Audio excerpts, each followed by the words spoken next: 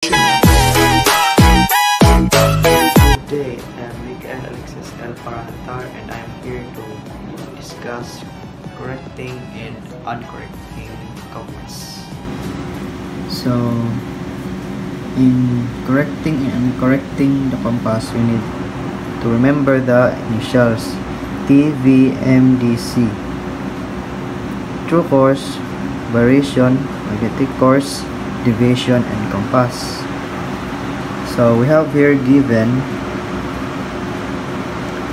our true course here is 110 degrees and our variation here is 10, 20 degrees west and our deviation here is 15 degrees east so we simply copy them to this side so our true course is 110 degrees so our variation is 20 degrees west and our deviation is 15 degrees east.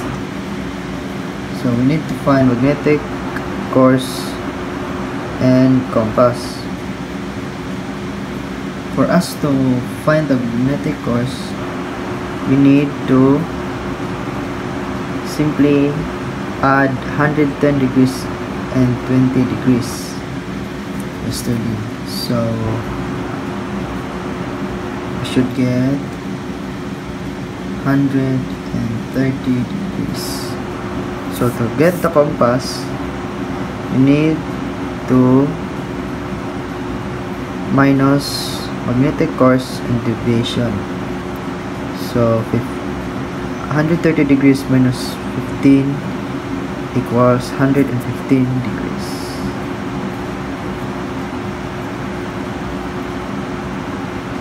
so in this side if west we need to add. If east we need to minus. And the other side is we need we simply copy the initials. So same as one. CDMVT CDMVT and our compass north is 115 degrees.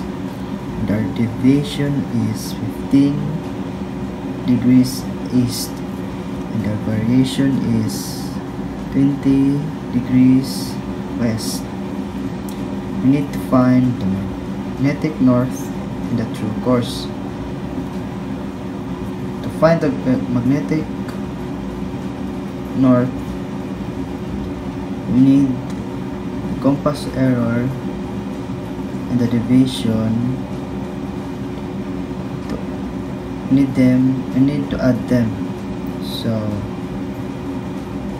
115 degrees plus 15 degrees east equals 130 degrees. And to find the true course we need we, we need to minus them so 130 degrees minus 20 degrees east west equals 110 degrees. And the formula of getting the compass error is C E variation minus deviation and our variation here is 20 degrees westerly. 20 degrees westerly. And our deviation here is 15 degrees easterly to get the answer we need to minus them so 20 degrees west minus 15 degrees east is equals to 5 degrees. And and if the number was bigger you will get the name. So 5 degrees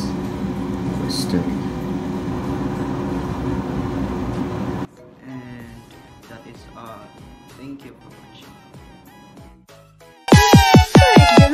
watching.